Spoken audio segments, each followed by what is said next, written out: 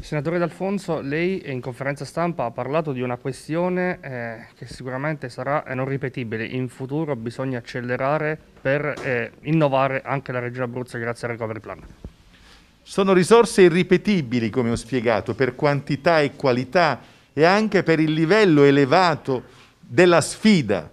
Noi abbiamo circa 3 miliardi di euro disponibili per il recovery e un miliardo per quanto riguarda la programmazione settennale nei rapporti Abruzzo-Italia-Europa. Su questi 4 miliardi di euro vanno fatte scelte prioritarie. Noi abbiamo messo a segno, con un lavoro fatto di anni, la cura del ferro nella Pescara-Roma, la cosiddetta ferroviarizzazione Pescara-Roma. Sono stati messi in sicurezza le grandi infrastrutture autostradali grazie alla concentrazione di risorse e di procedure. Partiranno presto i cantieri.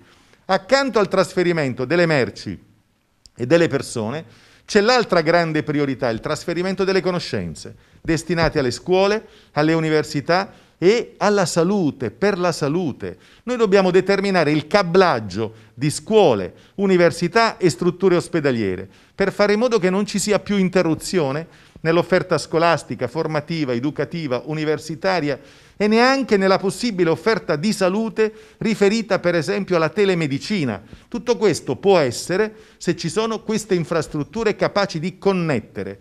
Noi abbiamo la digitalizzazione dei suoli, ma le strutture dove si erogano servizi a domanda individuale e collettiva sono povere tecnologicamente.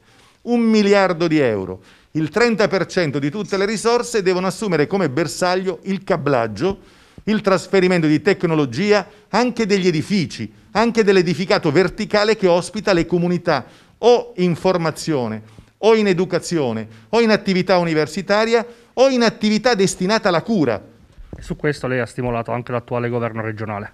Ma io ho detto attraverso queste mie parole, documenti che metterò in cammino, mettiamoci insieme per riordinare l'atteggiamento che si deve tenere nei confronti delle risorse del recovery, non 163 priorità che significa nessuna priorità, ma una, due, tre priorità, basta, non oltre.